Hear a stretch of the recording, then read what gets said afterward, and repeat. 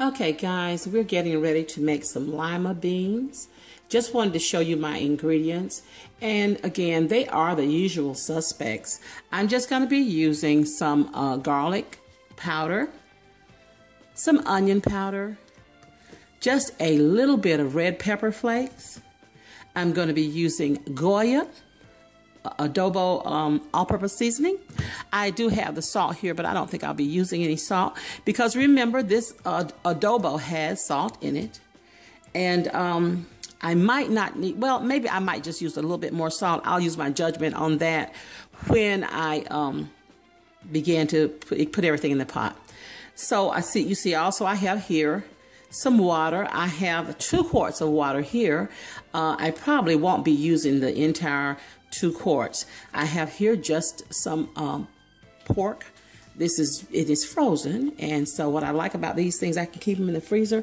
When I get ready to cook, I can just, don't have to throw them up. You can put them in the crock pot just like this on this kind of thing.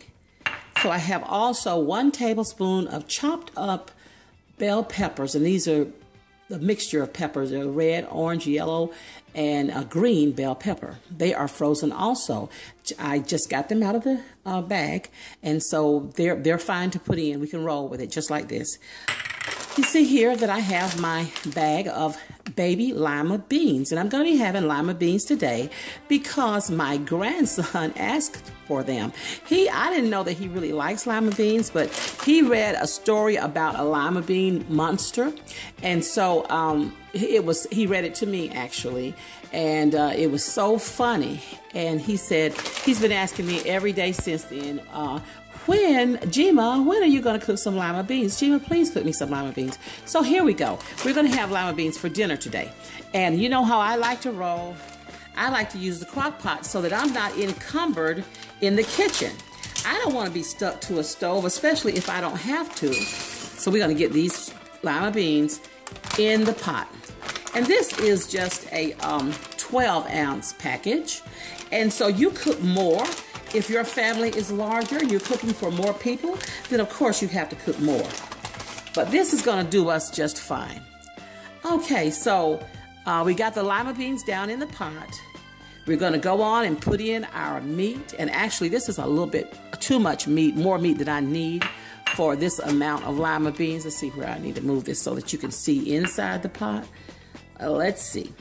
Give me just a moment. Okay, here we go. So this is a little bit more meat that I need, but because it is frozen, that I'm going to have to go ahead and use it. I can't, I'm unable to, um, no, I can't break it or cut it. Um, so I'm going to use it just like it is. So let me go ahead and place that in here. And then we're going to put our um, peppers in. Just dump those in. Okay, now we're going to get our, seasonings. So I'm going to just put the garlic powder in. And I'm saying garlic powder, but I usually, I always use um, granulated garlic. I very seldom, the only time I would buy garlic powder is I just don't, don't see the granulated. I can't find it. And that's not going to ever be a problem. Um, this is the onion powder. And just a few flakes of the crushed red pepper. Because like I say, we don't like our stuff that hot. Here, um, I'm just going to use some Goya seasoning. And remember, I said it has salt. And I would say that of each of these things, except for the, the crushed red pepper, that I've used maybe a half a teaspoon of the other seasonings. And the crushed red pepper, only just a couple of shakes. And I'm going to go ahead here and make an executive decision because I actually, when I, I thought I was using something else that had salt in it, but it's only the Goya with the salt. So I'm going to go ahead and put me some table salt in here too because the Goya has salt, but it won't be enough to do the trick for this. So here, let's just say I put in a half teaspoon of table salt. Now I have my water here and I'm going to go ahead and add my water in. That's enough. So you see I had um, I had two quarts of water, and I just have it here just in case so I don't have to go back to the sink. But uh, I only used about, it looks like I only used about a cup and a half of water for this amount of lima beans. So you can see I just brought it to a place where it uh, just covers the peas.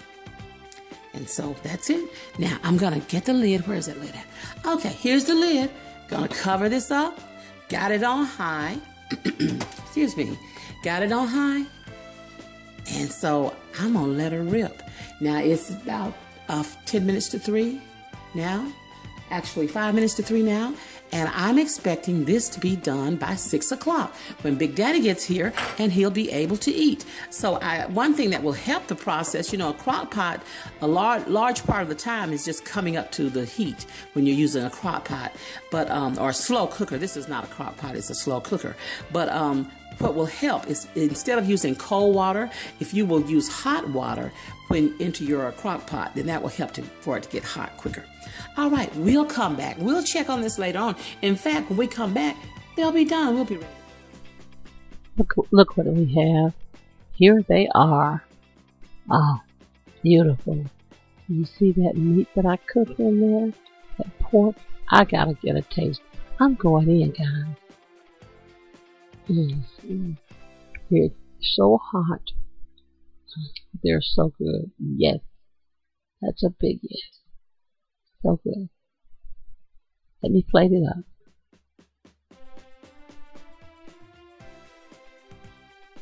So here guys, you see that I have just gone ahead and put this on a plate with some rice and gravy and some chicken gravy and a roll and uh, it looks like comfort food to me. Looks really good. Thanks guys for coming to my channel to see what I'm cooking today. Come back again. Bye.